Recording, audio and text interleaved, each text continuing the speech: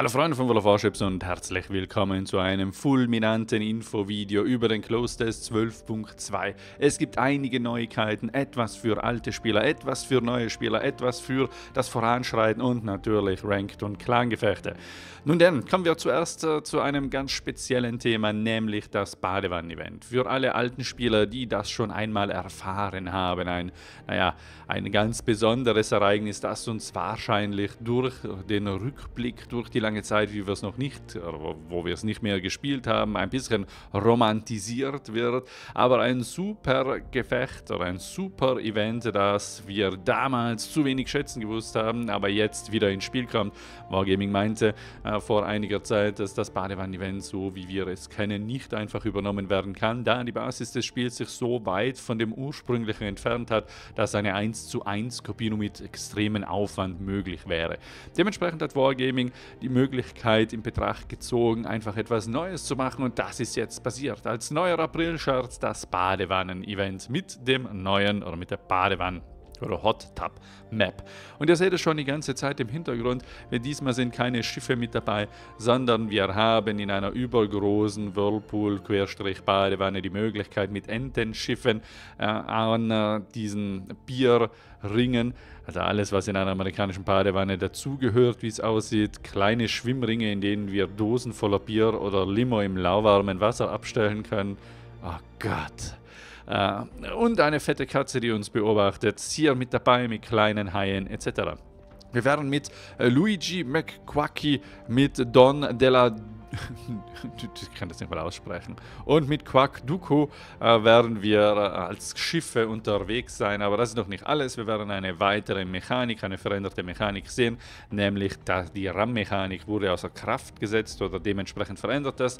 Wenn wir mit unseren Entenschiffen andere Entenschiffe oder statische Objekte rammen, werden wir wegbouncen, also abprallen, aber auf eine lustige Quietsche-Enten-Art und Weise. Und Wargaming nutzt natürlich diesen Spielmodus wieder, wie damals auch schon beim Halloween-Event mit den U-Booten, etwas Neues ins Spiel zu bringen, auf spielerische Art, sodass man sich leichter dran gewöhnt. Und hier seht ihr sie, die kleinen grünen Erbsen, die hier im amerikanischen Badewasser schwimmen. Das sind Minen. Sie funktionieren auf mechanische Art und Weise, ähnlich wie die Death Charges, wie die Wasserbomben. Das bedeutet, wir können sie abwerfen und sie fallen dann ins Wasser. Dieses Mal sinken sie aber nicht auf den Grund und explodieren, sondern sie bleiben schwimmen. Die Minen explodieren dann nach einer gewissen Zeit oder bei Feindkontakt mit einem anderen Schiff, also oder bei Kontakt mit einem Feindschiff, ne, und haben dann die Möglichkeit, Flutung zu erzeugen. In welchem prozentuellen Wahrscheinlichkeitsbereich die Minen den Torpedos etwas voraus haben. Das wird Wargaming dann in diversen anderen Spielmodi, äh, in anderen Events, dann in normalen Gefechten testen, da bin ich mir ganz, ganz sicher. Diese Gefechte werden im neuen vs. 9 Format abgehalten, äh, im, äh, mit den Regeln des Domination-Modus. Die äh, Rubber Ducks haben eigene Kapitäne und die seht ihr hier. Wir haben, wie schon vorher äh, einmal gesehen, am Schiff die oder den äh, naja, Zorro-Kapitän, dann diesen italienischen komischen Kapitän, dann ganz rechts außen natürlich den Phantomkommando Arnold Schwarzenegger Kapitän, äh, links unten einen fetten Western-Amerikaner, dann in der Mitte unten natürlich einen Rambo und rechts den Terminator, wenn auch nur stilistisch angelehnt. Äh, ich freue mich auf jeden Fall auf diese kleine, naja, soll man sagen, ich, ich, ich sage mal, es ist ein bisschen Fanservice von Wargaming, dass das gemacht wird. Natürlich geht es auch weiter mit den panamerikanischen Kreuzern, so unspektakulär mit der zweiten Änderung das auch sein könnte. Mit Update 12.2, so wo wie auch das Badewannen-Event ins Spiel kommt, wird der Early Access der panamerikanischen Kreuzer, was ist denn jetzt los, beginnen.